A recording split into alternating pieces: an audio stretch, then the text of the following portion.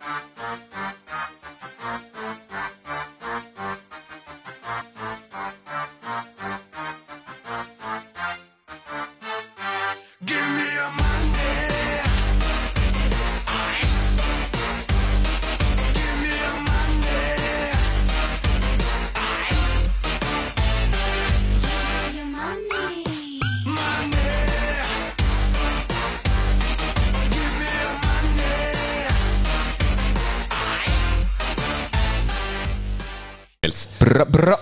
jeg er på.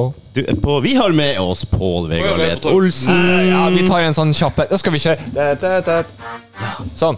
Da var vi Hei og velkommen til Fy faen, da! Det her blir bra. En liten sånn, eh, liten sånn spesial fra oss i dag. Yes, vi er i krysset. Oslo. Yay! Eh, og hvem andre enn The Federation og Blodsbånd skal faktisk spille i kveld?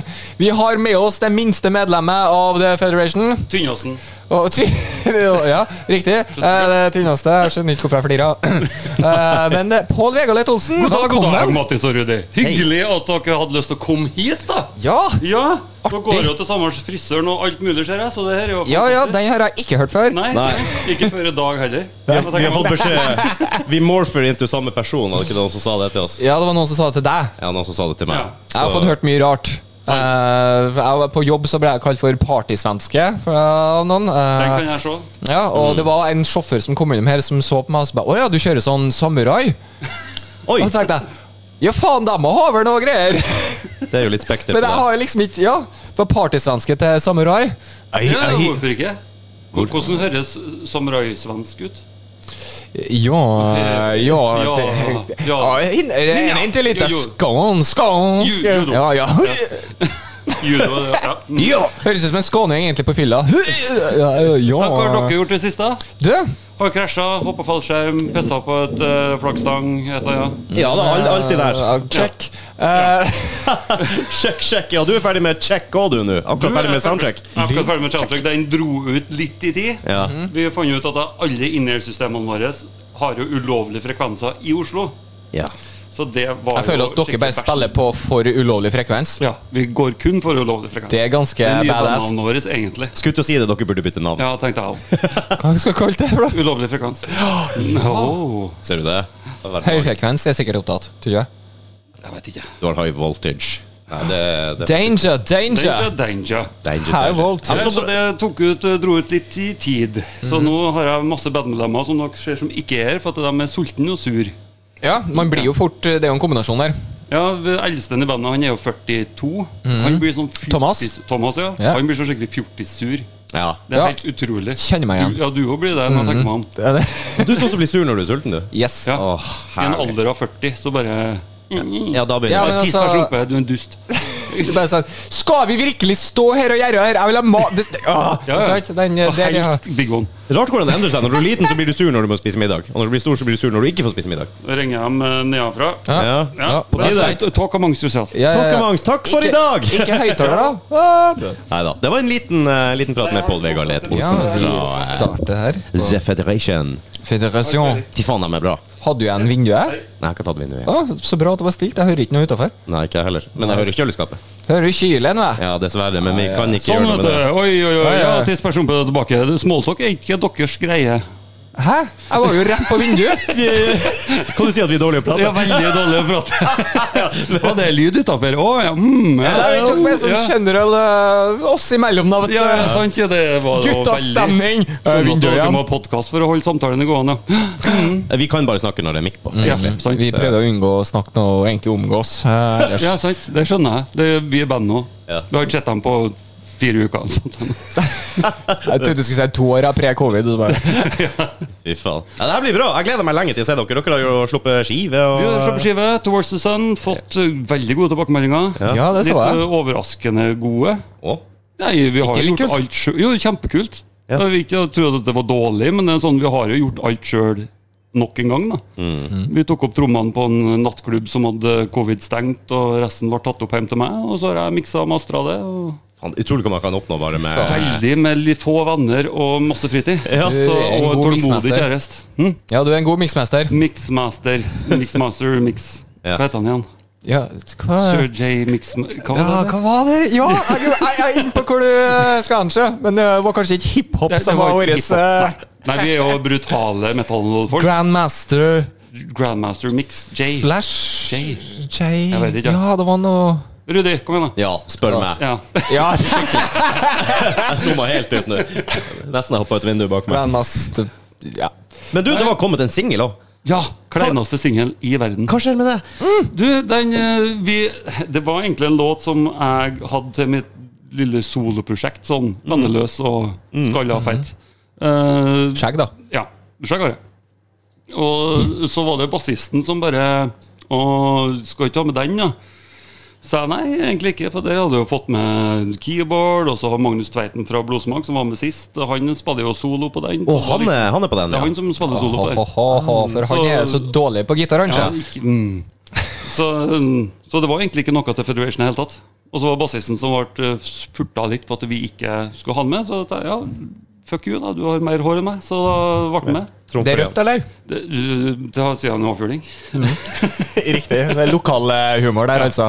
Alle flirer i Trøndelag, ingen ellers. Nei. Nei, ok. Jeg kjenner til det. Nei, så da ble den med, og så tenkte vi skulle lage litt sånn, litt sånn seriøs tekst, og det handler om egentlig Jeg prøvde å skrive det fra et spøkelse sitt synspunkt, som ble drept av far sin. Er metall. Oh, Men, oi. Hør. Der politi, vi er i Oslo, ass! Her er ikke bullshit! Det er ikke, det er ikke en knapp Mattis har trykt på igjen her. Nei, jeg tenkte på det. Politipatrulje neste. Nei, så skulle vi lage litt sånn seriøs video. Det rakk ikke å skru på kameraet engang, så har vi laga en båt uten gammel koffert og redningsvest. Har dere sett den? Nei, jeg, jeg vil ikke ikke det. Det må jeg gjøre. Researchen er Du, vet du hva? Jeg, sorry, Mac, men jeg har ofra livet mitt nesten for å komme hit i dag. For jeg har altfor mye å gjøre. Jeg har ikke rukket det. Nei. Nei, Da, da, da, skal, da får du se den. Ja, og jeg gleder meg. Jeg kan friste med um, nesten naken Magnus Tveiten. Ah, Magnus. Eskil Kløften i leoparddrakt. Wow, det er Og Darth Vader-hjelm. Jeg var jo i Liverpool i april, og for å si det sånn, Leopard står sterkt i England ennå. Det vil jeg tro. Mm. Du var kanskje i feil gate? Nei, det var til og med vanlige folk, ass. Uff da. Ja, det, og det er mye av det. Det virker som at det eneste forandringa er at vi skifter farge. Å, min er blå. Da, wow, Wow, ja, wow, ok. Tok du med noe hjem, da? Nei, det Altså, var ikke noe det var, Nei, jeg fant ikke noe Abbey. Fant ikke Så leopardmønster og Darth Vader-hjelm i England, da er du faktisk motriktig. Ja, det, tydeligvis. Ja. Men ja, videre. Frist meg videre. Du hadde eh, Kløften. Nei, hva mer, da? Det, det, det er kleint, altså. Jeg kan jo ikke Ja. redigere musikkvideoer. Og, det- men, men, men gjorde du litt dårligere med vilje òg, for humors del? Jeg lasta ned et program som jeg ikke kunne, Mhm. og fant ut hvordan jeg skulle legge på effekter. Og jeg brukte alle effekter. Jeg elsker sånne ting! Det er bare sånn Vi prøver. Ja, ja, så Ja, vi plutselig prøver ja. spinner hele bildet, og så er det fant jeg ut hvordan du zoomer, så det veldig mye sånn. Det er jo bare kult, da. Men jeg, jeg, jeg fant ikke ut hvordan jeg skulle zoome inn på hvor hen på bildet. Mm. Så det zoomer litt sånn i veggen. Ja, ser ut som du har hatt en, faktisk en kreativ plan her. Ja, ja, så musikk og musikkvideo står ikke i stil, da. Mm, okay. Og så er det jeg som synger på den. Gjør du det? Ja, for det, det var jo til noe helt annet enn Ja, ja, ja. Så hele greia handler om at Magnus, Tveit, nei, Magnus Helmersen, vokalisten mm. i Federation, ikke er på øving. Og, og Og jobben du må bare gjøre noe ut av det, ja. Ja. Det er jo kreativt. Veldig kreativt. Jeg følte meg som en fucking genius. Ja, ja. det. Det er faktisk eh, Men den er dritklein. Den er skikkelig Ja, klein. jeg, jeg gleder meg. Ja, ja. Er det litt sånn The Office-klein? Det er én ting som er seriøst, at jeg står og synger for en mikrofon, ellers er det bare tull. Og den mikrofonen er ikke kobla i engang. Det- Men det er jo ikke verdens verste låt likevel, da. Låta er stilig. Den, det jo, den kom jo veldig fort opp på i hvert fall dere list, eller låtene som blir spilt mest av oss. da Så den kom veldig fort opp. Det er nice. Vi må ha en ny entrance der òg nå. Nå har vi jo The Federation her, så vi har jo spilleliste på Spotify, blant annet. Ja. Av våre gjester. og Det her må vi oppdatere. Ja, det er ti nye låter, hvis dere ikke har oppdatert det. Dæven, det har vi er gjort. ni på nye albumet, og så er det den singelen. Mm. Ni låter, ja. Jeg har brukt de siste dagene på å skumme gjennom det albumet et par ganger nå, og det, det er mye, mye bra. Jeg Ja, liker det. takk for det, takk for det. Bra kjøremusikk. Ja, den uh, bare kjører veien, så det Nei, nei, nei, nei. Jeg likte det forrige albumet òg, da. Det har jeg hørt mye på. Det ligger jo på vår spilleliste. Riktig. ikke alle låtene, vel å merke. Jeg har uh, tatt litt eh, godbiter fra alle bandene vi har hatt med. Ja. Jeg har fylt på. Men nå må vi oppdatere det. Nå er det nytt. Ja. Masse sjustrenger, og det er jo hevnaksjonen i aksjonen, da. Hevnaksjonen i aksjon, den måtte jeg smake litt på, kjente jeg. Ja, den måtte jeg tenke Ja, på. for, ja, for det, det, hele albumet er en hevnaksjon. Det sa jeg kanskje ikke forrige gang. Nei, det nevnte du ikke. Å, nei. ikke. Ta-ta! Nei, ta-ta. La oss lære noe nytt. Sist gang vi var på krysset, Ja. for ca. et år siden, to år siden, To år siden. to år siden så var vi oppe på Deluxe Music. Mhm. Der fant jeg en gitar som jeg har leita etter i fire år. Og så var den på tilbud. Og bare Tebau, som vi sier i Trøndelag. Yes. Og jeg går på og bare tar inn og bare Yes, det, mm, den må jeg ha. Ser på prisen. Den har jeg faktisk ikke råd til likevel. Så jeg måtte bare henge den fra meg. Oh. Thomas Strand, andre gitaristen, Yes. kommer inn og bare prøver den for artighets skyld. Og bare mm, Og tar den med oss og kjøper den rett foran trynet på meg. Tenkte jeg, det er faen meg greit Uten at du visste at du elska han her? Jo, han var fullstendig klar over det. Oh, ja, så han var bare litt douche? Ja. Okay. Vi, vi sier det i hvert fall. Han spurte meg om det var greit, faktisk, og jeg sa ja. Men jeg brukte det fremdeles som hevnaksjon. Ja, ja, derfor, det, det er derfor nesten alle låtene på neste album er sju strenger, så at han ikke får brukt den. Du var litt sånn som kjerringa når du spør "Hva, Er det greit, eller? Ja. Ja, Og så hvis du faktisk gjør det, så blir du pissed off. Yes, jeg tok den. så da ble det sju strenger, og da endte jeg opp med at han måtte kjøpe seg tre nye gitarer eller noe sånt for å få, få til å spille det nye albumet. og her ringer Magnus Leiten. Ja, ja. Får vi se hva Magnus sier. Er det høyttaler, eller? Nei, det er ikke det, men uh, snart, så. Høgtaler her. Skal vi se. Høgtalere. Uh, Skal vi se. Ser ut som noen som sliter mer enn meg med smartphone. Hæ, What? Jeg kjenner at jeg, jeg blir Du, Er du fornøyd nå, Rudi? Se en annen person sliter med teknologi. Yes. Å ja. Og vi ringer. Og de ringer tilbake, ja? Hei, du, du er med på podkasten nå, så må du være forsiktig med hva du sier. Jeg har deg helt oppi mikrofonen. Riktig, så Ja. er jeg med på podkast. Du er med på podkast nå. Ja, det men, eh, Da har du FaceTime? Hæ? Skal vi se. Funker det her? Kan jeg snu Da har du Bluetooth? Det, vet du. Her! Hello! No, dem, dem ser deg ikke når jeg tenker mann. Nei, det, det er bare du som ser han. Hallo! Fy faen, magisk. Han hører oss ikke heller, tror jeg. Jo, du, Jo da. jo, Å ja, det hører jeg. Så bra. Nå har vi satt opp og klar og bare til deg. Ja, det er så koselig. Jeg sitter der og drikker øl nå. Ja, vi, vi, vi øller. Ja. Ja, er du på vei? Ja, nå går jeg på vei til toget. Ja, supert. Det toget kommer ikke til å gå. Nei, toget er innstilt. Ah, Sånn for reals. Det var jævlig mye innstillinger tidligere, men nå skal de ha begynt å gå igjen. Å ja, ok. Så eh, ja, det går forhåpentligvis et tog. Hvem har lengst skjegg av dere to? Ja, han, se. Det var jo ikke noe det var det mest intelligente blikket jeg har gitt et menneske noen gang, og han og også meg. Det var liksom Ja, men da gleder vi oss til du kommer, Magnus. Ja, det blir stas. Du, jeg gleder meg veldig til å komme. Det ser ut som det blir litt forsinka, men jeg kommer. Den greier vi har allerede tatt lydprøven din. Jeg skal ta lydprøve for meg, og så kommer jeg med enda flere strenger. Ja, men så bra. Magisk. Vi ses. Vi snakkes, hei. Vi ses. Hei. Kult, ass. Veldig bra å prate med han òg. Ja, det her, det her er jeg, jeg føler at vi er veldig godt forberedt. Ja. Ja, du gjør det, ja. Nei, ikke helt. Sa du skjelven i innpusten? Vi, eh, jeg var opp fem eller noe sånt i morges. Og vi hoppa første ferja klokka halv sju? sju. Og så er det jo- Jeg har gjort research. Ja, ja. Og så er det jo åtte timer ned. Og så har bassisten blære som en toåring, da, så det pisses jo hele tida. Det er råringene. Hæ? Var overføringen. Ja, så du kommer rett fra fedrelandet nå, holdt jeg på å si? Ødelandet. Eller noe sånt. Ja, Kjem fra Trøndeland. Rett fra Trøndeland. Ja. Så rett eh, til hotellet, egentlig. Parkert bilen, og så var det bare å så skyffe seg opp hit da, for å rekke lydprøven. På penthouse, eller? Er det toppsuite? Det er sweet, det er smart smarthotell. Smarthotell, så du bor i en koffert, nesten? Ja, en sånn. det er helt korrekt. Og en to meter eh, mann i en eh, ei 50-koffert, det er Ja. alltid interessant. Du må inn gjennom en brevsprekk. Ja. Nemlig. Og så må, må jeg, jeg må på do, og da måtte jeg ut og riste tissen etterpå. Jeg skjønner. Så vokalisten bare Det var, det, de sa jo i sted at det Det kom litt sånn vet du, så det Ja, det ja, Det sprer seg. Ja, det gjør det. Ja, det var jo fare for duskregn, sa de i Oslo senere i ettermiddag. Da vet vi. Da vet du hvorfor. Jeg skjønner. Fantastisk. Nei, men det er bra. Er det, og dere skal på etterpå. Dere har jo med dere eh, Blodsbånd. Blodsbånd. Det blir bra. Ja, vi, vi skulle egentlig være med et annet band. Det Det var egentlig der. vi som skulle være med et annet band. Ok. Det var egentlig planen.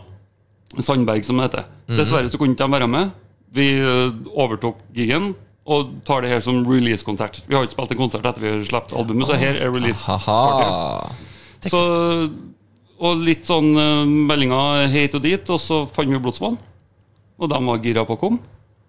Og de er i gang ned nå, hører Hvordan jeg. dere kjenner til dem? eh? Ikke i det hele tatt. Ikke helt det hele tatt. Nei, det er trommeslageren Jens er søskenbarnet til en kompis.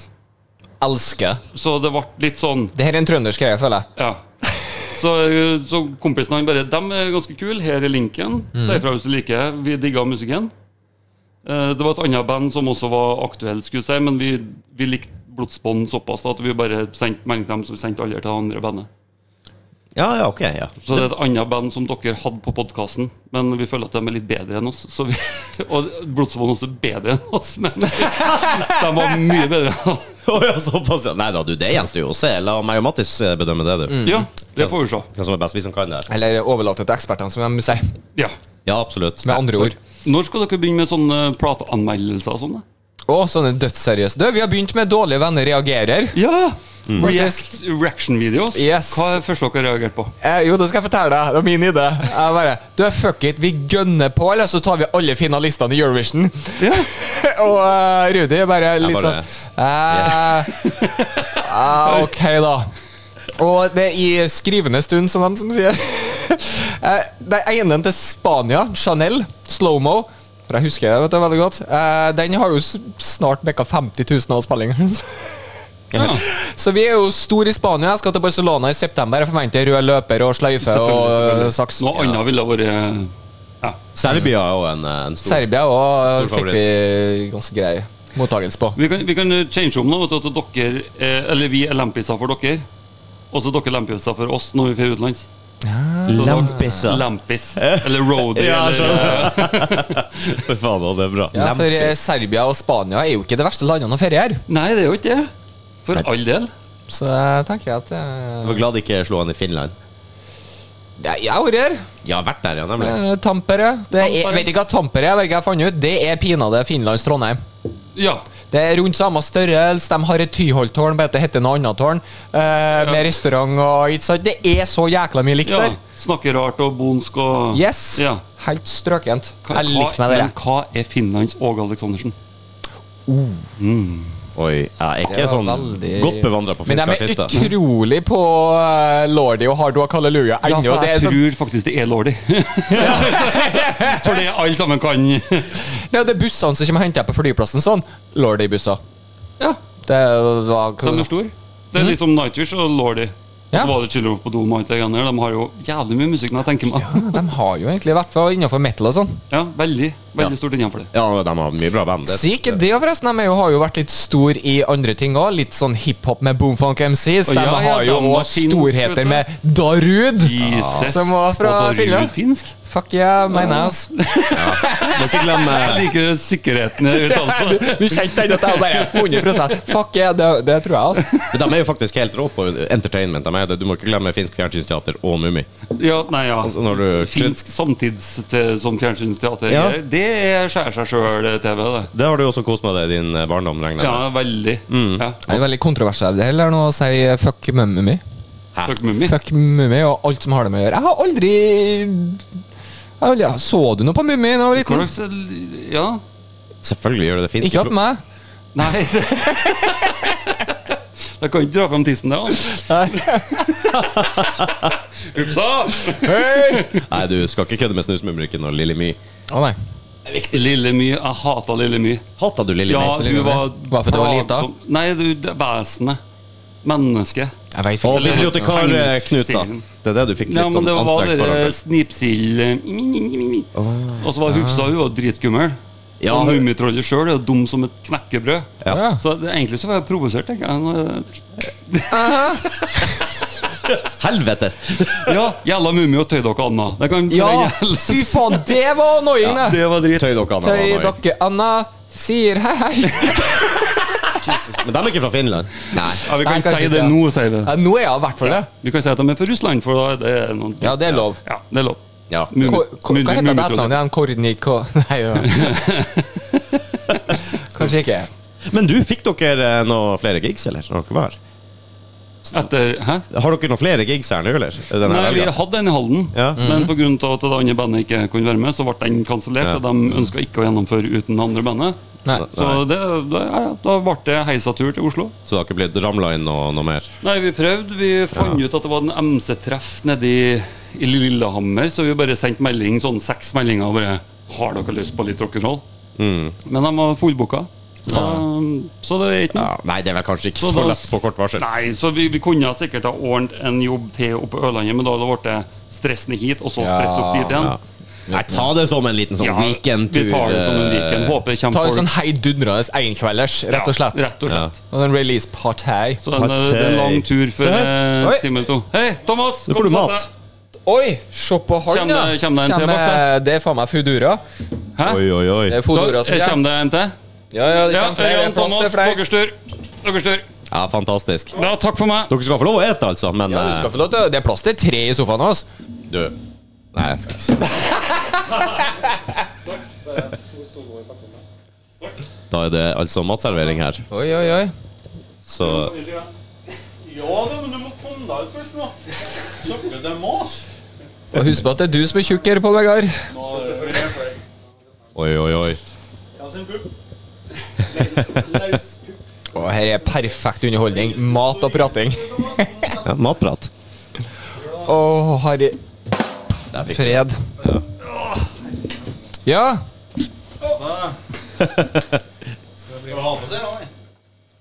Man kunne ta og spise burger og ha en podkast samtidig.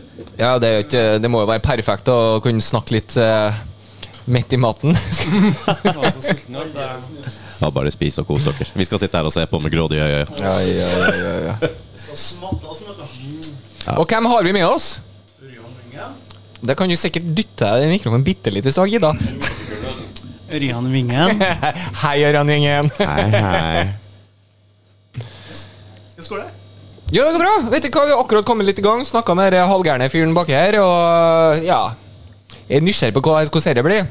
Ja. Er Jeg skjønte at dere egentlig eh, Dere er litt som badass som kjører ulovlige frekvenser and shit. Nei, hysj, da. Mm. Ikke se det nå. Nei, nei, sånn var det. Nei, det, det er ikke lov. Dere er litt sånn anarkister. Ja. Jeg skjønner det. det er bra. Nei, det blir artig å se. Vi har jo aldri vært ute av studio før, på en måte. På, på, en måte. På en måte. Så uh, første gang vi Så her blir det noe nytt. Vi var på krysset. Vi hadde jo politisirena i bakgrunnen i stad. Jeg tenkte bare her var perfekt å bare få fram hvor vi faktisk er. Ja, Pass, ja. Ja, ja. men i kjøleskapet, det, det, det lager mest lyd her, kjenner jeg. Fy faen. Men det får, det får gå. Jeg, jeg tror ikke jeg tør å ta det ut med varm pils til hele gjengen etter konserten. Det, Jeg tror ikke jeg har vært så det er ikke noe særlig. Pål, kan jeg få mat? Ja. Peasant. Peasants. Må servere noe. Ja, det er kult. Er dere klare for å, for å spille nå? Alt under kontroll? Håper det, da. Det er like spennende hver gang, det. Og det er det, ja. Å ja! er det sånn her 50-50, eller? Om det går? Hvis en rekker å komme på hva låtene heter, så går det som regel greit. Ja, jukselapp, er ikke det? Ja. Men du kan jo berge det med, med dårlige vitser imellom, ikke sant? Nei, har ikke sjans. Jeg må eh, Som regel så må gitaren spille litt først. ja. Det er vel vanligere med jukselapp enn man tror. Tror du ikke det? Ja, Jeg håper. Ja, jeg tror det. altså Jeg har sett mange som bare tenker Wow, du er jo dødsflink, og så ser jeg jo bare så fint blar om med foten, eller whatever. Å oh, ja, du er mm. Mm. Ja, ja. Eller Ørjan har jo sin egen lydkollasj på låtene våre. Hvem som hadde det, sa du? Ørjan. Ah, Ja, det står med lydskrift. Låtene. Står mye Ducati, Ducati og Taka-taka-ta. alt som fungerer. Ja, ja. Det som fungerer, det fungerer, mener jeg. Ja, det gjør det jo. Man finner jo sin greie. Sin, har du jukselapp, Mattis? Nei, Nei, du husker at du skal si, det? jeg, eh, jeg er utrolig god på impro og winging it. Ja, ok. Du mener det? Jeg tror ikke det. Nei. Jo da. Du er faktisk ikke så verst. Du klarer nå å holde, holde det gående. gående. Om ikke annet så har jeg deg som alltid klarer å si noe skitt mellom når jeg stopper. Ja, ja, ja. Nei, vi har jo aldri noe manis heller, så vi ganske, stiller ganske fritt. Stikkord er vi gode på, da. Stikkord, ja. Oi, det er det jeg som, uh, som ringer. Tro om det kan være min bedre halvdel. Det var det overhodet ikke. Så det kan vi bare la være. Det var Roy Børre Henriksen over elva. Shout out. Shout out hvis han hører på. Så passa det litt dårlig. Beklager for det. Vi har jo med oss litt sånn eh, portabelt utstyr i dag, og vi skal kanskje vandre litt etter hvert ned i dypet og se om vi klarer å få noe footage. Filme litt. Det er din oppgave, fant jeg ut, for du er den edruen i kveld. Jeg er jeg er faktisk eh, sjoffen i dag. Det er helt latterlig. Jeg forstår ikke det sjøl. Du burde ha kledd deg ut da når du skal forandre og filme og sånn. Ja. Undercover. Ja. Faktisk. Du har sett Undercover Boss? Eh, ja, det har jeg. Det har jeg. Når vi, under koronaen så hadde vi en streamingkonsert. Ja. Da hadde vi en som for å filme i Pikachu-drakt. Nydelig. Så, så anonymt. Ja, jeg fikk ikke med meg at det var kleskode når jeg skal filme. Dessverre. Kunne Men har du sett Hva heter han der eh, ned fra Stavanger med det italienskklingende navnet? God på gitar. Han som du introduserte meg til, faktisk. Å ja, han, eh, han Leo Moraccioli eller noe sånt. Ja, han har da musikkvideo, mener jeg, med full on kanindrakt i- Jo. gjennom et kjøpesenter nede i Sola, eller hva svarte det var for noe. Ja, stemmer det. Han har, eh, han har mange kostymer. Fy faen, han gjør det greit. Han gjør det? Ja, ja. jeg har datt litt av. Ja, Han driver og turnerer og spiller live og sånn, og har med seg band og kjører full pakke. Ja, det var nå da åpna igjen, så. Ja, nemlig. Nei, men han eh, var jo bare en sånn cover-dude. Han eh, lagde litt eh, funky musikk ut av kjente låter. Men det beste mellom låtene var jo faktisk den det han improviserte sjøl, og ikke var coverbit. Veldig ofte. Eh, Ja, faktisk. Jeg er enig. Har dere noen coverlåter dere kjører innimellom, eller er det kun eget? Eh, Nå satser vi mest på eget. Satser mest på eget, ja. Hender seg vi og oss og kjøre noen cover nights, da. Ja, ja. Å ja, bare for stemninga. Så hvis det litt penger, så må vi Kun for pengene. Ja. Kun for pengene, ja. Dere selger dere. Selger ræva deres. med- Rett og slett. Det viktige er jo faktisk at du har en god sak, og det er jo ærlig på det. tenker jeg. ja, for så vidt. Nei da, det er vel, det er vel ganske vanlig å, å covre litt innimellom. Det slipper jo til og med, til og med de største med. Unna med. Prøver å spille coverdata vi liker sjøl, da, men Å ja. Hva det går i, da? Hvis, dere, hvis du må covre en låt, hva det blir? Faen, Thomas. Gun mot hodet. Du må covre en låt. Da kan jeg spille, vi spiller litt Ghost, Guns N' Roses. Ja, Guns N' Roses. Der har du en veldig stor fan ved din side her. Ja. Første tone på Sweet Child of Mine, da er det Åh, stemning. fy faen. Da sklir jeg av stolen hvis du gjør det. At Da går jeg hjem. Jeg er ikke alene. Han hater Guns-låtene. Hva ser sier du? Det er så utspilt. Åh, Sånn, ja. Ja, men det er ikke uthørt. Det er det ikke. Jo, det er det jo. Nei, nei, nei, nei, overhodet ikke. Uff a meg. Nei, det er bra. Vet du hva, Jeg har faktisk hatt litt gunspause sjøl, så um, man må Da ble det bare Roses. bare Roses, ja. Hollywood Rose. Hørt dem? Ja Eller LA Guns. Det er de to bandene som ble til Guns N' Roses. Ok. Ja.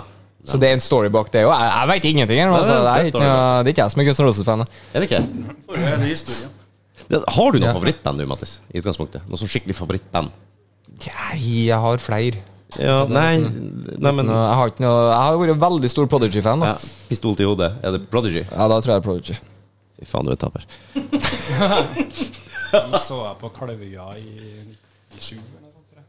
I 97. 97, ja. Åh, da var de jo Det var jo Det var ikke det året der de slo virkelig gjennom med The Fat of the Land? Fett og den skiva kom. Ja.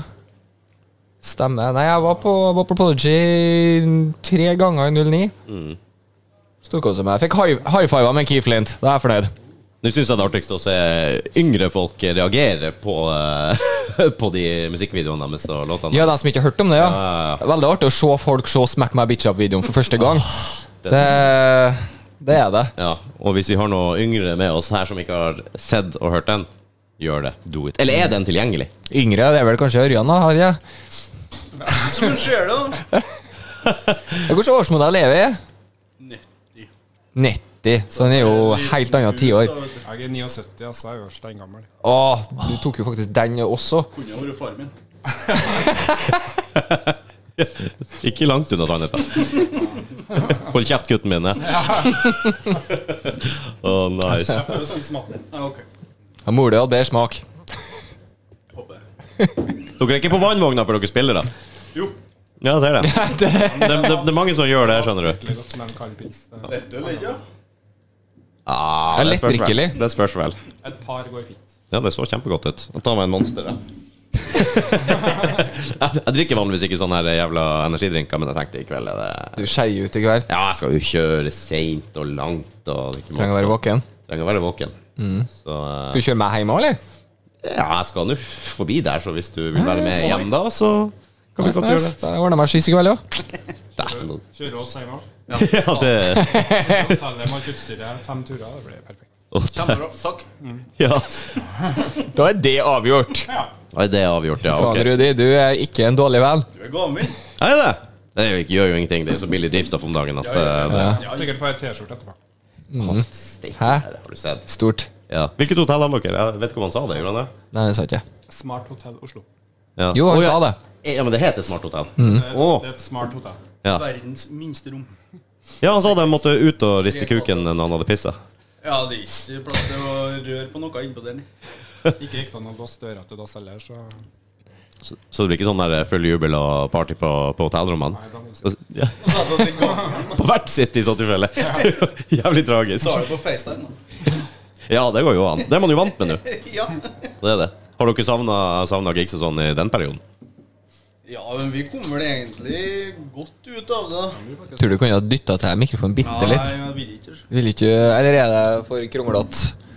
Ingenting Vi startet jo faktisk her på krysset rett før Oslo ble blodrødt. Ja. Ja, ok. Ja, da, for det var jo to år siden, typ. Ish. Ja. Så den mandagen vi det. Ja. Dæven steike, det er flaks. Eller uf- uflaks. Altså, det er ikke flaks for de fleste, men uh. Så det var litt sånn skal, Flaks for oss. Skal vi dra til Oslo eller skal vi drite og ta turen? Men nei, vi tok turen. Ja. Har, Ingen, ingen fikk korona. Ingen fikk korona. har dere hatt det? Nå, begge to? Jeg har hatt det. Dæven steike. Heldig. Da har vi alle fire. Har du ikke hatt det? Jo, jeg hadde, jeg hadde men eh, ikke den nye, eh, populære typen. Den, eh, Har du blitt en ny poppis? nei, denne omikron-saken som har vært en god stund nå. Den har jeg ikke hatt. Jeg hadde den første Nei, andre. Du hadde første bølgen, Ja, du. Delta eller noe sånt? Nei, ja. det er andre bølgen, var det ikke det? Jeg hadde delta. Hadde Ja. jeg delta. jeg hadde er omikron. Jeg hadde omikron. Bare Her er det feteste navnet. Jeg kjører den. Her, du, vi er jo Delta Force. Det er jo eh, Det er jo delta som er korona. Ja, det er det.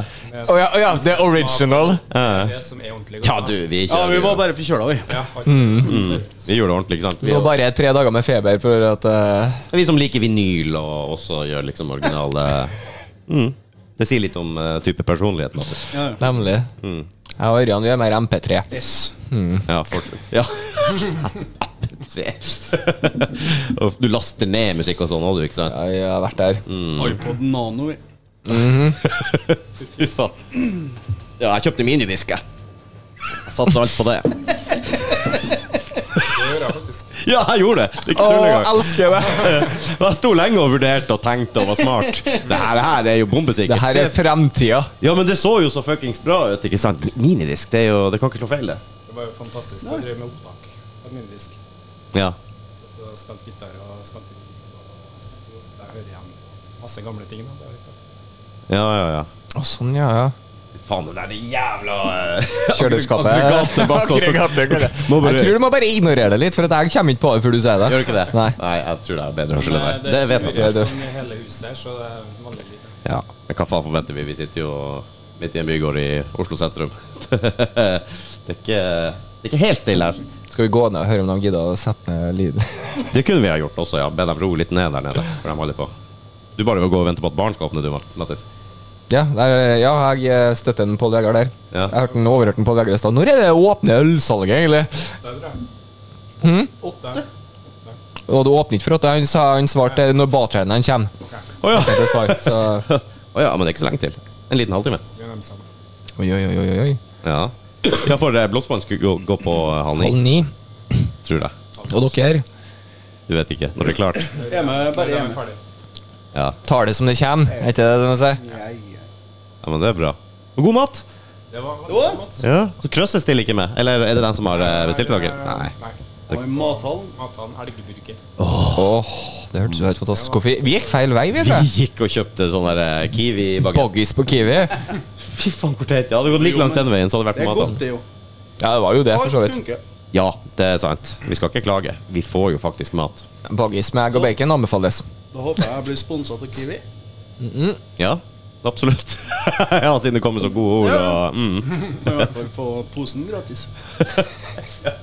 Kanskje du må ha på deg sånn Eller Kiwi- kjører den klassiske Å, jeg glemte pose, ass. Beklager.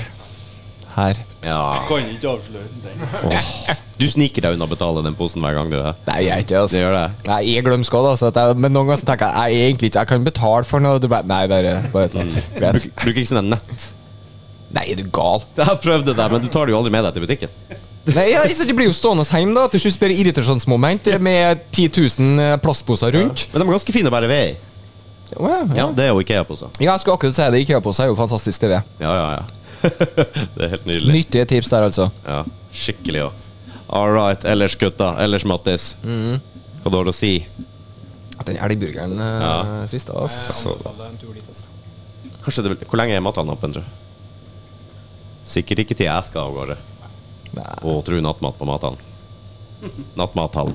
Nattmathallen. Oh. det, det, det er en greie. Litt fremmed. Nei. Nattmathallen. Tror du det, eller? Fy faen, det er magisk. Jeg tror jeg går gjennom det. Så. Mm. Eller alt Greiene er at Kriteriene for god mat går jo veldig ned for meg midt på natta. Du får jo en bakt potet, så er det beste i verden, sant? Ja, de hadde den hvite vogna nederst til Karl Johan i mange år, som hadde cheeseburger. De heiv, ferdig cheeseburger heiv i mikroen. Og jeg kødder ikke, den beste cheeseburgeren jeg har spist i hele mitt liv. Hver helg. Er ikke det de gjør på Mækkern òg? Strengt tatt, bare kjøre den i mikroen? Ja, jeg tror det. Ja, jeg tror det var det. Men eh, ja, det var jo jævlig greit, da, for du trengte jo bare å gå dit og bli lynings for at du ikke har fått maten din, så fikk du. Uansett om oh, ja. du bestilte eller ikke. Ja, ja. Hvor er maten min? Og bare du var sint nok, så fikk du det. Ja, ja, ja. Vent Jeg har venta faen her i et kvarter nå. Hvor i helvete er den her maten din? Da får du bare slengt i en sånn jævla burger. Da. Og så kjenner du på at du har glemt av å bestille. Ja. Nei, de, de, de, de merker det aldri. Slapp unna hver gang. Nei, Jeg har en kompis som gjorde det hver jævla gang. Han er fra Vadsø, så. Der er de vant til å måtte bruke spisse albuer for å få mat.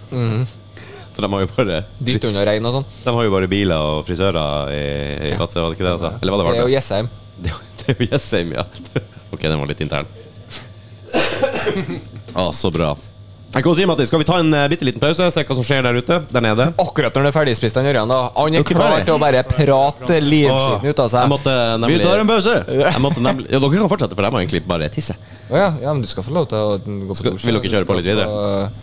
Få- vi tar vi kan ta en liten pause, så kommer vi tilbake etterpå. Vi har faktisk fått i oss litt mat òg. Det er jo litt dårlig underholdning å sitte her, da. Altså, Ja, men som du sier, Nå var de ferdige, så da kan vi skru av. Jeg tar en liten pause. En liten Sånn pause. reklamefilm for mathallen. Ja, Mathallen, eh, velkommen. Og Kiwi. Vet du hva, det La oss drømme oss bort til Mathallen. Og eh, en liten elgburger der, altså. Digg. Jeg tror det blir elgburger i dag, hvis jeg rekker det. Ja, Hvis jeg rekker det, så er jeg med på det også. Ah, digg, digg, digg. Yes. Alright. Nei, men vet du hva? Vi kommer tilbake med mer. Og uh, som sagt, jeg skal gå ut i feltet og filme litt med skitten vår. Vi har fått lånt utstyr av Roberto. Tusen takk, Roberto. Tusen hjertelig. Alright. All right, snakkes. Hey. Det skal vi få ordna. Ja, takk, takk. Ja, velkommen, velkommen. Hvem har vi med oss her nå? Sjølvaste. Eh, Magnus Helmersen, vokalist i The Federation. Å, en liten sånn. Ja, for nå er vi i gang her. Nå er vi i gang. Nå har vi trykka på knapper. Og Robert Redmax Myrhaug, trommis i Federation. fuck yeah! Da Ja, vet du, vi har hele Ikke hele, men vi har uh, føderasjonen med oss, altså. mm, Vi har også med oss Rudi. Sånn. Da har jeg i hvert fall brukt knappene i hvert fall litt Ja, jeg er vant til den der. der så det, Ja, går bra. den er god. det, det, det hører jeg hver gang jeg Får går inn i aldri trom. noen positive? Ikke Nei. noe applaus til deg? Nei, nei, nei. nei. Nei, det, sånn driver ikke vi med til han. Er bare psh. Jeg bruker å appl- applaudere meg sjøl i speilet om morgenen. og sånn. Jeg Og det. du er heldig at du gjør det òg, du. Ja, jeg gjør det liksom. Jeg Jeg kjenner meg igjen i den. Du gjør det, ja. Er ikke det sånn greie forskjell på mannfolk og kvinnfolk når de ser seg i speilet? Uansett hvor fin dame er, så ser hun seg sjøl som en sånn jævla elefant. Og han gubben som faktisk er en elefant, han bare satt du Ja, det, det har du oss, da. Ja. Jeg kan dele en hemmelighet. Ja. Robert er jo Supermann. Ja vel? Han er Supermann, ja. Faen, Magnus. Jeg har bestandig lurt på det, for jeg skulle stilt Supermann eh, noen spørsmål. Ja, han er faktisk Ja, Supermann. ja. Ja, for jeg har ikke sett ham med briller. Det er det som er hemmeligheten. da Ah. Skjønner. Det er sånn der eh, trick, trick. Ja, det der, er, der. ja. Mindfuckity-fuck. Ja, de fuck. Men eh, hva skjer med mangel på, på eh, telefonkiosker om dagen? Det er jo, må jo være et helvetes strev. Nei, det må jo på sånn eh, smart uh, app store. Hva faen er det sånn uh, Smart Apple App Store, ja. Smart Jeg, hotell. jeg, må, jeg må låne toalettet på Apple Store. Ja, det er, det, ja, det er nok av dem, da. Ja, ja, Det, det er mm. det er sant, ja. Svosj. Swoosh, ja. Shablagoo. Det Åh, det er det Du, kan- du kan justere den der mikken litt nærmere og vri den litt og styre og gjøre. jeg tror det er Nei, bare drag hardt. Dra den lenger til Magnus. Ah, ja, sånn, ja. Sånn, ja. Vi prøver det. Jeg, og, Nei, vi har vi, kan, Nå datt jeg jo helt av hva jeg skulle si her, men eh, Ja, bare si det. Du snakka om telefonkiosker og Apple Store. ja, nå, det, det, det Vi var-. Genius Bar det er Apple Store. Men dere er der for å spille? Ja, jeg tror Ja. det. Ja. du er der for å synge, Magnus. Jeg prøver å gjøre det, ja. Ja, det er det. Det er ikke mye spilling og det jeg skulle fram til. Nei, men eh, det, det gjorde jeg vel ikke så mye når vi gikk på skolen på videregående. Og da var det mest håndball og sånn du ser på på den tida. Mhm. Vet du, alle vet det, men Mattis var en fremadstormende håndballspiller i sine yngre dager. Ung og lovende. Takk, det vet jeg. Han fryktet Jeg var kantspiller, vet du. Nei, jeg var back, egentlig. Ja. I'm back. I'm back, baby. Jeg tror jeg må begynne på håndball igjen, ass, bare for å gjøre et eller annet så jeg kan skryte igjen. For det er det eneste Mattis er god på, skjønner du, så han passer på å eh, fortelle det til alle Ikke, ikke god på podkast, altså. Nei. Nei, jeg vil si det Han kommer seg, da. Det, det, Ja, det kommer. det blir bedre. Øvelse mester. Så dere to kjenner hverandre? Dere to, altså. Ja, Ja, ja, jeg og Mattis. Du og Mattis. ja, vi er tight. M2M. M2M, ja. ja. Det, er sånn, Det kunne vært dere to, liksom. det kunne vært, men uh, han flytta jo, altså, Ja, da ble det da liksom. skjærte seg. Jo, Jeg jeg hadde jo ikke hørt den synge. Ah, hadde du hørt det før, Ja, exakt. så hadde du faktisk uh, mm. Det, det var synd, ja. Det var, det har blitt Det veldig var fint ikke rart den, eh, den tida der når vi gikk på skole. Jeg husker på, jeg ville jo søke meg inn på videregående på musikk, dans og drama, men uh, faren min sa jo at det var for knarkiser, alkiser og tapere. Og han hadde jo rett, da. For det er vel bare en Børge Rømma av dem som gikk, som står igjen i dag.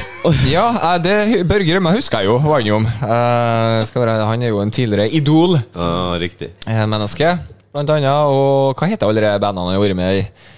Fa- Too far gone. Ja. Han har da flere prosjekter, men uh, han gjorde gjort det, gjort det, Ja. Hvem bryr seg? Så det er det beste som har kommet ut av den linja der.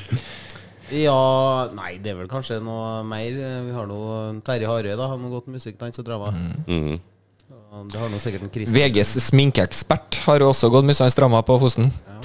VGs sminke. Shout-out til Therese Oddsen Ononli, hvis vi fremdeles heter det. Stemmer, Stemme, stemme. ser vi på, vet du. Hvem som ikke husker Therese? Paradise Hotel-deltaker. Oh, no. Første sesong. Ja, det var hun, det, ja. Ja, se der, ja. Men altså, jeg. kan jo ikke navn, for jeg bryr meg jo ikke. Men Men du var helt med på Altså, du skjønte ikke i starten med helt den jeg Paradise Hotel. Aha! Ja, går jo tilbake til Paradise dit den eksploderte på Fosen. De kom jo på fest, vet du. Ja, ja. Ja! Stemmer. Da sto jeg vakt der på uteplassen her. Og det var jo sånn jævlhypa av Som vanlig. Ja, det, Strengt tatt. Velkommen til Fosen, liksom. jeg skjønner ikke Ja. Jeg skjønner alle greia. Apropos mange jern i ilden, forresten. Robert Redmax. Faen, du spiller overalt, du. Ja, Jeg føler at hvis jeg ser noe fra Fosen, og det er en trommis der, det er meg. det er Robert. Det er meg. Det bruker være det. Da får du tid til alt det her, da. Egentlig ikke, Nei? men uh, tar meg noe til alt det, her, da, for det er jo artig. Ja, og hvordan uh, velger du hvem du faktisk gidder å være med på tur med? Det er førstemann til mølla de helgene jeg har fri. Ja, skjønner. Fair enough. er, er jeg opptatt, så nei, da har dere et problem den neste dagen. da. Ja, ja, ja. Jeg som ikke vet nå at du har tydeligvis flere prosjekter. Mange jern i ilden. Ja. Det er totalt fire. Eh, vi har The Federation, da. Mhm. Der, og så er jeg med i eh, Det begynner å bli ganske eh, internasjonalt, i hvert fall innen miljøet. da. Eh, slagmaur. Slagmaur, ja. Eh, og så er det De har holdt på en god stund, jo. Å, herregud, ja, det må Det dit over, først. ja, ja. Ja. Uh, og så er det jo Sandberg, da. Det er mm. noe en heavy metal-band fra Trondheim. Og så er det lokalgutta igjen, da. Det som var Interferon en gang i tida. Mm. Det heter for Tragediens trone i dag. Ah, Og det er da litt mer ekstrem side av black metal, da. Mm. Det er sånn tempomessig, i hvert fall. Vi holder oss på den sida av sjangeren, på en måte. Uh, Jeg har jo vært fire år med Skal jeg si noe om det? Ja. Jeg gjør det. Han Polly vært Eh, Jeg har vært fire år aktiv som countrytrommis, faktisk. da fuck yeah. du det, ja? Med, med som heter Bygdabråk. Ja, dem vet jeg jo jeg òg. Så det, Ja, det var det du skulle nevne? Jeg tenkte det var det andre greia. Nei, det, den, det, ja, altså Vi har sikkert egne fem-seks gjerne inn, men vi driter i dem. Oh, ja. De uh, hiver langt faen i. Jeg letta, kjenner jeg. Nei, det, da Jeg er også fra bygda, og det er liksom ikke bestandig at hvis du er musiker at du kan velge fritt hvilket band du skal spille i. Ikke sant? Ofte så hiver du deg med for å være med og spille og, og gjøre de greiene, men det er kanskje ikke det du brenner mest for. Jo, eh, den der historien jeg fortalte før, i hjembygda mi så hadde vi Guttene. Ikke sant? De het Guttene. De het Svint før, og så byttet de navn til Guttene. Og de tok fine sånne bandbilder på, med hockeysveis der 80-tallet.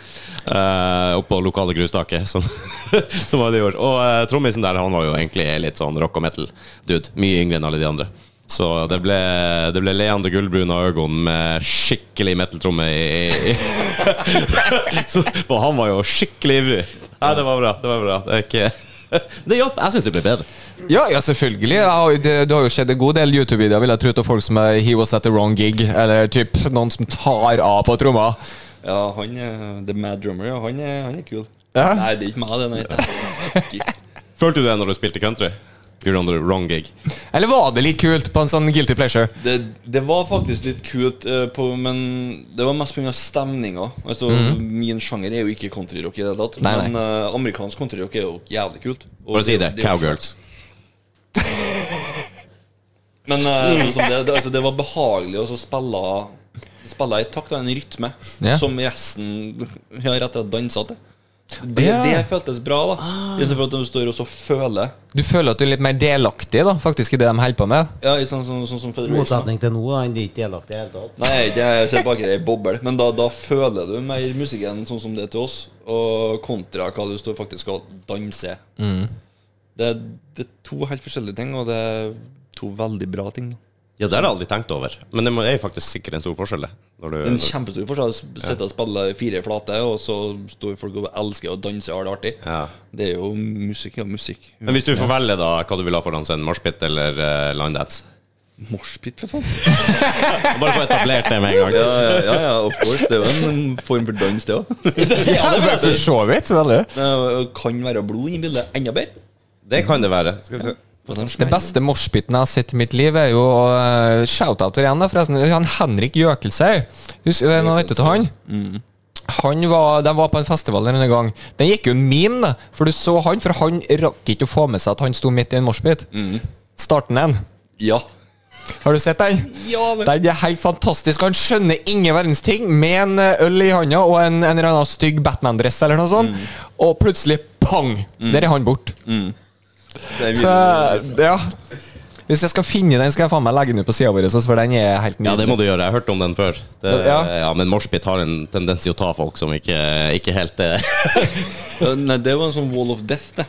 Oh, ja. De separerer, separerer publikummet. Og så bare Og så bare one, two, three, og så uh, Pang, så er det bare, og så Jeg gjøker seg bort. smeller Ja, du, du blir bare Det er sånn der, Jeg så en jævlig svær sånn en for første gang på, på, eh, på YouTube, tror jeg. Det så ut som en sånn middelalderkrig. Altså, den bare Ja. springer på hverandre. Men når kom det? Hvor det kom? Det var, har ikke jeg hørt om. Uh, wall of death. ja, fra gamle dager av. Ja, Å, du må ikke spørre, jeg har ikke peiling.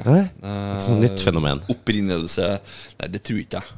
Nei. Uh, det Circle Pitten og sånn, det er jo hundgammelt, men uh, Wall of Death, det, hvor det kommer vet ikke. jeg, Men det er i hvert fall drittøft. Du? Slager. Ja. Det er bra. Du får, du får jeg det for meg. Jeg har en idé. Dere Ja. på ene sida, dere på andre sida. Bare gjør noe. Wow! Ikke sant? Det er ja. Så er det han stakkars gamle alkisen som bare vimser uti rett før, ikke sant? Det er i, i herre tilfelle Henrik. Han kalte deg for stygg. Altså. ja, ja. Er dere pumpa nå på konsert? Hvordan føles det? Er du klar? Redo?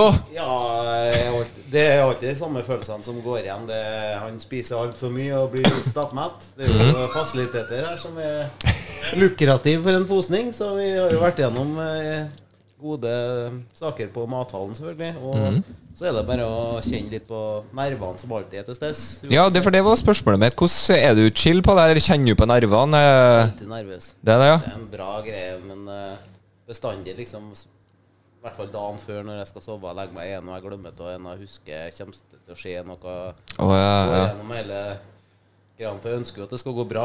Selvfølgelig. Minst, eh, det er folk der som har betalt for å se det du gjør, da. Ja, du vil jo levere. Ja, det vil han. Altså, um, men eh, det går stort sett bra. Det, jeg kan ikke huske på én gang det egentlig har gått dårlig. Ja, for det gikk knallbra på Libra òg, ikke sant? Ja, du, du, du må trekke fram den, ja. Nei, sorry, jeg bare nevner Vi har hatt gjester her tidligere, skjønner du. Du, det, det på Libra, egentlig, det, det var en sånn eh, artig greie. Og egentlig så gikk det ikke så dårlig, men det var bare forferdelig kleint. Oh, ja. Det var helt grusomt. Sånn, uh, Pål svetta mer enn han gjort på sju dagers militærøvelse sammen. Ikke sant? Det, så det, var, det lukta død skunk, for å si det mildt. Helt, helt Jeg er nydelig. sikker på om det var bare svette helt, ærlig. Det er så bra. Men for, for å forstå det her, så dere hva hadde en gig på Libra der egentlig Det var ikke en gig. Det var Eller, bare Vi får litt uh, Få opp pumpa litt ut, og så bare presentere oss litt som publikum. Ah. Og, ja, markedsføre oss med litt banjo og Så det kan hende at det var to stykker som satt der og bare elska dette her, og så er det noen som lurte på hva er det her for noe? Det var to. Det var, det var onkel og så mor mi. Ja, ja. Så det på YouTube etterpå, så det her er 100 Det er der det begynner, vet du. ja, det, Fins det her på YouTube? Er det så? Uh, var, ja. Nei, jeg vet, Det ligger på Facebook, vet jeg i hvert fall. Ok. YouTube, da, men uh, Nei, eh, trofaste fans, det, ja. Nei, det var bra, ja. Dæven søkki, det var leven, ja. Ja, det, du har dem Det er sånn som hvis jeg er opp med noen som er skikkelig glad i meg òg, så er kjempeflink. Den tar jeg med en klype salt. For Du er, du, du er ganske snill med meg her nå, men jeg vil heller ha det til noen fra, som er faktisk litt mer nøytral og ikke kjenner meg nesten som person. Det vil man jo egentlig alltid ha, men det er sånn bekreftelsesbehov. Du skal være stolt på dem som er nærme deg, for det er Ja, for så vidt. som teller. Så hvis uh, morsan er stolt av det jeg gjør, og da er jeg glad for det, og så prøver jeg å hele tida gjøre en best mulig jobb, fordi at det er noe folk betaler for å se. Det er, Ja. blir jo jobb, da, Mm. kan si. Så det er viktig å ikke gå helt berserk og tømme barn, f.eks., før du skal opp. Nei, det merker jeg òg at jeg må ta meg litt sammen her. Jeg har jo to, to linebors. Hadde jeg hatt fritt vilt her nå og ikke skulle gjort noen podkast, hadde jeg sikkert vært litt lenger fram i den rekka der, skal jeg være helt ærlig. Det skal du ikke se bort ifra. Der har jo ting skjedd, eh, for eh, sånn var det jo overhodet ikke på det glade 80-tallet. Eh, det var jo nesten sport i hvem som eh, klarte å fucke til scenen mest mulig. Og, ja. Det er nok det enda mange steder, men eh, Jeg syns alle vi liksom treffer nå, da. Kanskje det er fordi at Jeg vet ikke. Altså, det er jo ikke så mye heroin involvert lenger. Det er det. Ikke? Å, nei, altså, nå snakker jeg bare for meg sjøl her. Men eh, du ser jo de kjente gamle rockerne. Det var ikke akkurat de klarte å stå på beina heller på scenen. Og Var ikke Toto som brukte en sånn Var det Toto som hadde telefonkiosk på scenen, eller var det Nei, det var um, Telefonkiosk på scenen?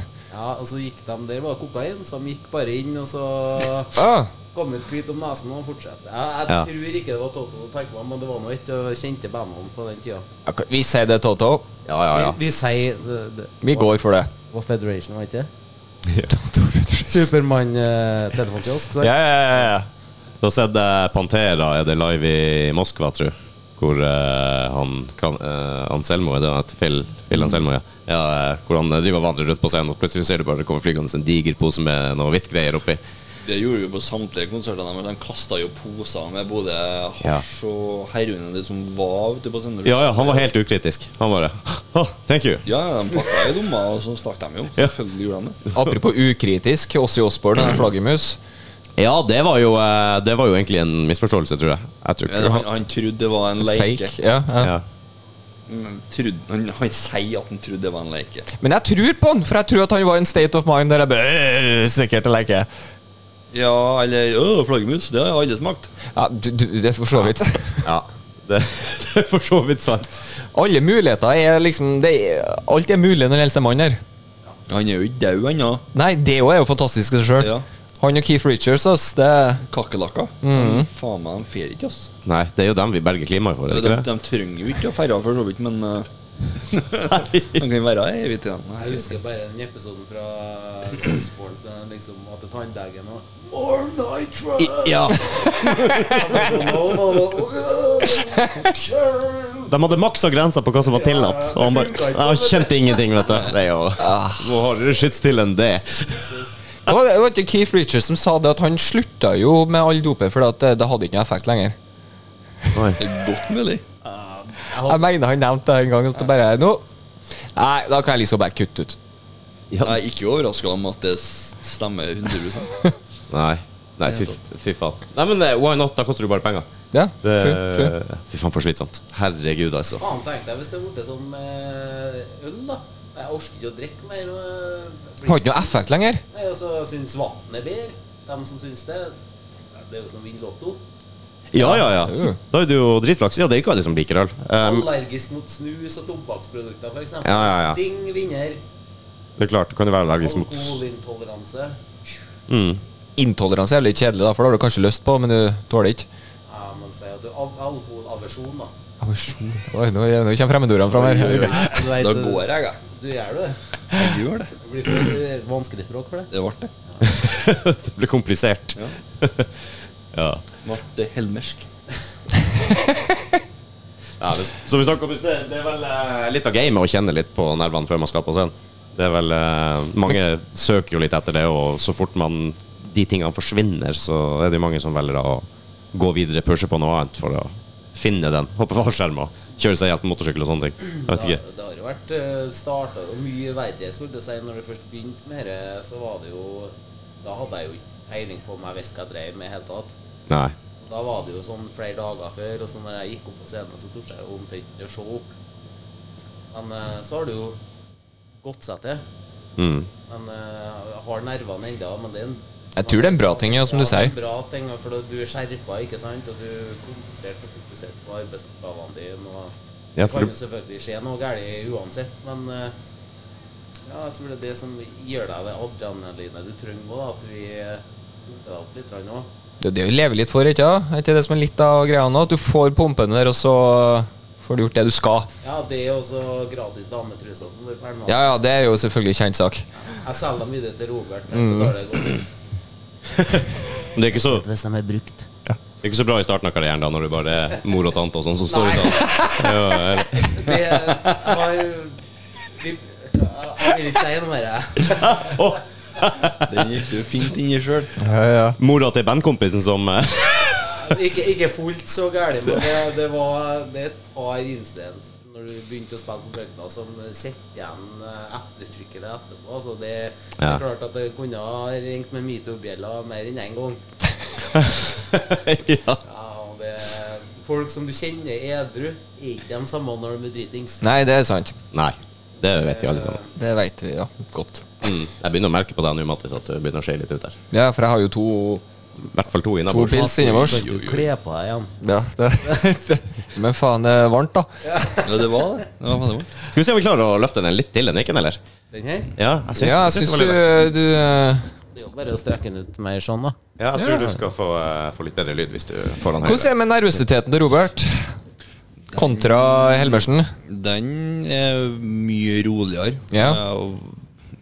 Føler deg trygg? Ja, jeg har jo gjort en del jobber før The Federation. Ja.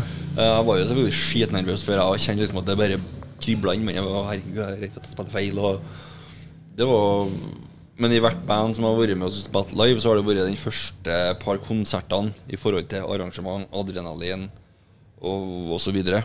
Eh, men sånn som det er med oss nå, om det er med slagmaur i Sandberg eller noe, så er jeg ganske rolig før jeg går på scenen. For da blir jeg Det er sånn som med Magnus jeg går opp her for å gjøre en jobb. Og da Da Altså, feilslag er én ting, men jeg skal jo levere sammen med resten av bandet. Er det jo. Og det er jo ikke en sånn liten rolle å spille trommer. I hvert fall ikke når når det der helvetes to meter forhudet kommer og så forteller Nå meg gjør hva du vil. To centimeter forhud. to Tre hvis den popper en To blomma. meter uten forhud. Det er Pål Vegard Lett Sånn Olsen vi snakker om her, for øvrig, for dem som ikke Uh, sier liksom 'Robert, gjør hva du vil for noe, det er helt greit, det'. Hvis bare ja, baklengs, er ja, samme faen, egentlig. Så jeg gjorde nå det, da. Det er kjempeartig. Spilte inn og angrer meg litt etterpå, da. Jeg må huske på alt. Å ja, selvfølgelig. Det er så mye detaljer, og det blir visst verre. Og det skal bli verre neste gang. Ja. Så da blir jeg sikkert nervøs et par ganger før vi skal spille de låtene live, og så går det bra, for da blir det sånn innsnevra i eh, motorikken. Da. Ja. Du er i fullt fokus og skal levere. Ja, jeg blir veldig Jeg liker helst å ha det ganske rolig rundt meg. Og så og så er vi et sånt band der ufarlig å gjøre noe feil, da. Vi, Det vi- blir ikke hengt, liksom. Vi, nei, vi driter ut hverandre litt sånn subtilt, kan du si, Mm. men mest på, for gøy, sånn at vi får et avslappa forhold til det. Så I dag var det du som eh, spilte feil, eller sang Mm. feil, eller to, dro feil mm. grep på gitaren, eller whatever. Liksom, det er ikke noe big deal. Nei. For uh, i starten husker jeg var sånn at vi måtte uh, begynte å spille i bandet i utgangspunktet. At det ble en sånn stopp, og så måtte vi begynne på nytt igjen. Men nå trenger ikke den det. Mm. Nei, sånn, jeg skulle til å si ikke det sånn uh, Du skal ikke stoppe showet, det er bare å fortsette, for det er ingen som bryr seg om den lille bommerten. Nei. Men når du, når du ikke er samkjørt, så kan det bli full stopp. For du vet Ah, ikke hvor ja. Ja. Det andre er igjen ennå når du ikke har kjemi. Men når du blir Mm. kjent, så flyter det over, og så bærer vi hverandre, da. Ja. Kan du si. Ja, det har du så absolutt i, i Federation. At uh, det går bra. Altså, vi, vi plukker deg opp, da, på en måte, hverandre. Og hvis du driter deg ut, da, så kan f.eks. en stå der og så apskratt. Men Det hørtes veldig Pål Vegard ut. det er Pål, det er Pål. Og så er det sånn Ja, er, men det er artig, da, da blir det artig. Da blir det ikke sånn Faen, helvete, jeg gjorde en feil. Det er kult når man, når man hjelper hverandre. Det, Jeg så en, et show, det var vel Steven Adler fra Guns N' Roses, som skulle, hans band som skulle spille. Og så kunne ikke han komme da. Det var det mest han ble arrestert på grensa i USA med full av dop og alt. Så han kom seg ikke ut av landet engang. Så, ja, ja. så eh, det endte med at eh, et Guns N' Roses coverband, norsk coverband eh, Trommisen derfra steppa inn for Steven Adler for hans band. Og ja, det var noen sånne greier. Eh, og, eh, og da så du Han kunne jo låte noe sånt, men da var de eh, ofte liksom løfta han skikkelig. Du så det, de, de gikk bort, og, og det, det var jo utrolig artig. Du så jo han spilte jo med verdens største glis, selvfølgelig. Jo. Det, det er kult, men da fikk du se det ordentlig, hvor, hvor du kan heve det på en måte og hjelpe folk. Og at de blir trygge. Ja, da har du noen som er mye, på en måte mye større enn deg innen det du holder på med. Ja. Og så de kommer og drar deg opp. da Jeg har jo opplevd det sjøl òg. ikke for å skryte videre på alt det rart man har vært med på, men uh, jeg var jo med Shining, svenske black metal-bandet Shining, Ja, ja, ja. eh, til USA første gangen. Uten øving, ingen verdens Jeg skulle lære meg 14 låter. Vi hadde time, kvarter, 20 minutter spill på. Jeg traff dem to dager forut, og så gikk scenen har ja, To dager med kjennskap. Liksom, det er ikke mye kjemi og sånn på den tida. Og så, da var jeg skitnervøs. Jeg har spilt jeg, Og jeg er superkritisk til meg sjøl. Jeg har spilt hele konserten ganske bra, men jeg glemte av ett parti, for det var én stopp inni her. Jeg huska ikke på hvordan arrangementet skjedde etterpå. Ah. Og da ble det sånn Ok, bare droppet Så de bare fada gitarene inn og hyl og sånne ting, og så bare neste låta. Å, ja. Og da kom de og sa etterpå liksom at det der det driter ut i. Det, resten var jævlig bra gjort. Og da var det sånn ah, Ok. For da hadde jeg lyst til å hoppe utafor. Yeah. Oh, ja, ja. Det føltes helt jævlig, men da kom de og så hjalp meg. da Og så bare sånn Ta det helt med ro. Dette her går fint. Ja. Det var 600 kaller, men det var fortsatt greit etterpå. Uten, ok, Da dropper vi den, og så går vi videre. Fy faen, ja, det er bra, da. Det var en veldig god følelse å bli tatt vare på på den måten der. da Ja, det tror jeg. De har jo uansett ingenting å tjene på å bare sette stinka i deg med en gang. Og Nei, nei, nei, det nei. tar jo alt ned. Det, det går jo ikke. Nei, det, det funker i hvert fall veldig dårlig. Ja. Eh, Men de gjør jo meg veldig bra. sånn sett Det er jo ofte sånn i sport at du spiller med folk som er bedre enn deg, så øker du ditt eget nivå. Ja, ja. Jeg kan tenke meg det er, er litt sånn i musikkbransjen òg. Ja, det er jo det. Altså, boksing, da, for eksempel. Motstanderen kommer og takker for kampen. Og liksom Alt det der. Det, det er sånn det skal være, da, på en måte både i musikk og i sporten. ja. Ja, jeg ser det for meg et sånt feilslag bak der, og så stopper alle sammen og bare Stille, Stirrer på deg. Fy faen, tro det. Nei, aldri gå på en scene igjen. Nei, men blir jo Ja. Jeg syns det er dødstøft at bare folk tør å gå på scenen og spille instrumenter. Det, det er helt nydelig. Ja. Ja, Det er ikke for seint for deg heller. Nei. Jeg begynte ikke fra bekka 30 heller, så Sier du det? Nei, jeg har ikke altså, Hvis noen har nevnt Magnus Helmersen til meg for noen år siden, så har jeg ikke Ja, å ja, vokalist? Nei, jeg har ikke, jeg har ikke gått der. Så, så det er ikke sånn at du har stått eh, foran speilet fra du var åtte år? Jeg har eh, sunget mye for meg sjøl og hørt mye musikk. Og sunget veldig glad i metal. Jeg vokste opp med g- Halloween og Hammerfall og den sjangeren der, sånn bjugn som de kaller det. Ja. Metal, ja, Så det var litt inni den der eh, med kompiser og sånn på den der. Men uh, jeg må nå Det skjedde ikke noe før uh, jeg flytta hjem fra byen. Og så ble jeg spurt av en, uh, han som var trommis før, før Robert, da, om å bli med i bandet og synge. Og det er en Pål og Glise, ja. Ja. Og da tenkte jeg at dette må jeg bare gjøre nå, for nå har jeg drømt om det siden jeg var liten, liksom. Ja. Og det er ikke sikkert det blir noe av det, men jeg sa nå ja. Og der begynte det nå da, balle på seg etter hvert. Og jeg er takknemlig til Jon Roger for at han spurte meg om det, og sånn Pål det da. Ja. Som spurte meg om å bli med videre i Federation. da. ja, det er bra. Det er tillitserklæring. For du kan si mye rart om en Pål. Han er to meter og to centimeter med ditt og datt. Og sånn der, og han er en streng herremann og nådeløs, men uh, veldig mye respekt for han og meningene hans. Og han er en kunnskapsrik fyr, så Ja. setter pris på det når spesielt når han blir litt full og kommer og tar rundt meg og forteller meg at Det ja, du kan jo synge. Da, da, Det, det, skal si, det hører jo veldig godt på, på nyplata. Ja. Eh, Så absolutt. For jeg, jeg var jo med en gang jeg på Barrock på Brekstad Mhm. og steppa inn på én låt.